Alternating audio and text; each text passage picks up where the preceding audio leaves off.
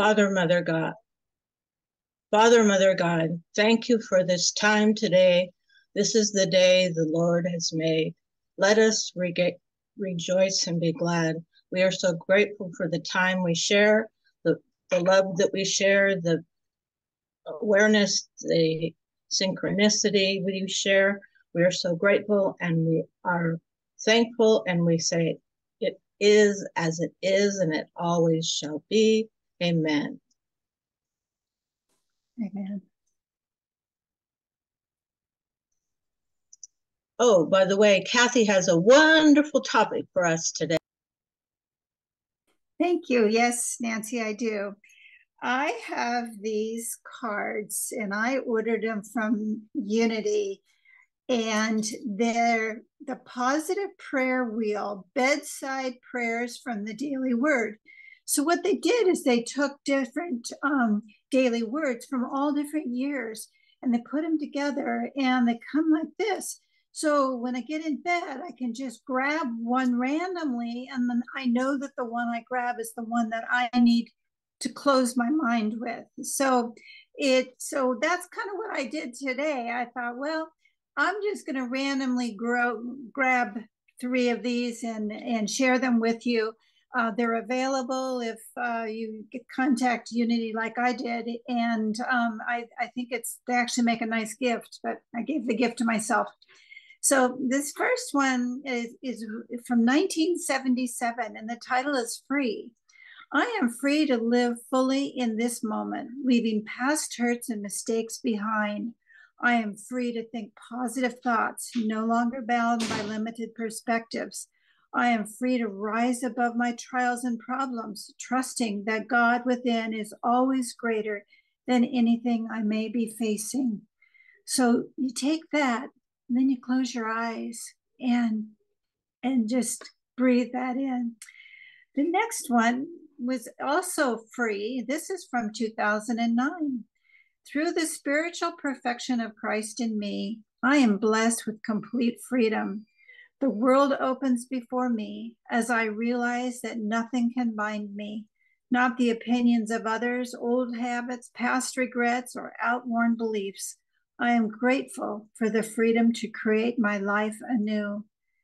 And that one really, I know we've talked about in the our other talks about carrying beliefs that we were told as a child and this is like a, a, good way to just say no those those don't apply to me. And the last one i'll share was get this from 1939 freedom. Freedom is my spiritual birthright. I no longer look to other people or change in circumstances or condition to make me free. My truest, enduring source of freedom is always and only God. I align my thoughts with God and break my chains of habit, condition, and circumstances for good. So, those were just three that I sort of randomly picked to share with you. But I remember as a child that, you know, I had to kneel by my bedside and say my prayers and I actually enjoyed doing that. And um, I, I, don't I haven't been doing that over the, the the last many many years, but these cards sort of gave me uh, a, a little boost to pick up one and and read that before you go to sleep at night. So, anybody have anything they want to share about that? Yes, I ordered um, some cards like that from Unity, and they're the 12 power cards. And I gave them for a, a friend at Thanksgiving, and they love them.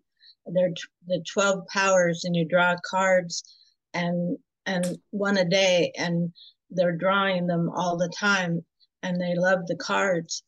Sounds like an ad for for the Unity site, but uh, the cards are really helpful. Yes, they are.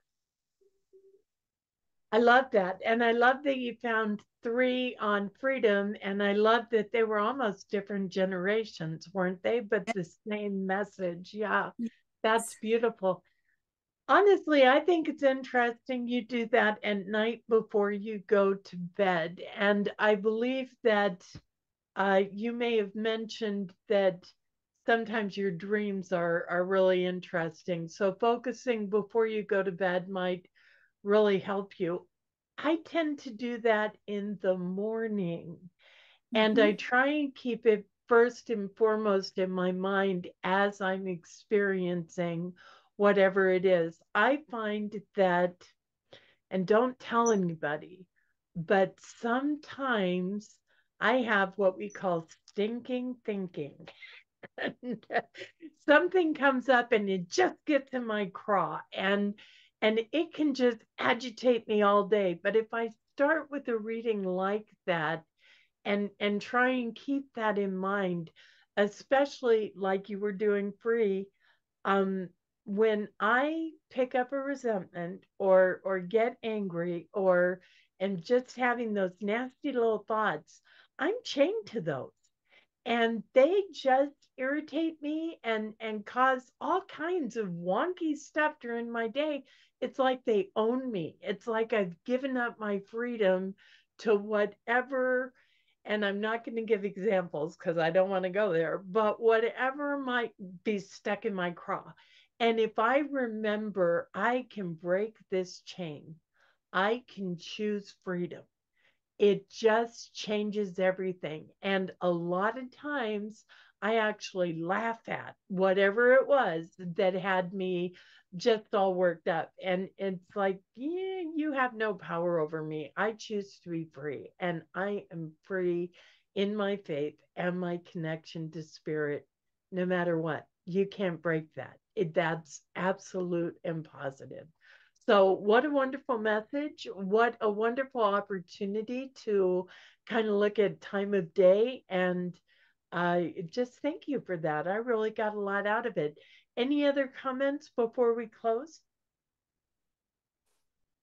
Okay, then, please let's close in prayer. I invite you to sit back and if you're comfortable, close your eyes or focus on something in the room as we take a breath together and turn within.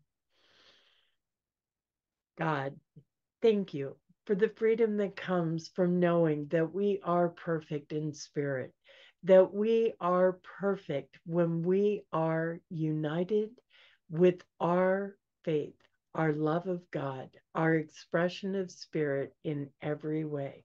God, no matter what the earth presents to us, we know that we can rise above it and be united with one another. Thank you, God. Amen. And thank you for joining us today. If you would like to join our panel, please send me an email, leave a comment, or let us know at Unity of El Cajon. We are so grateful to have you with us. Thank you. Goodbye.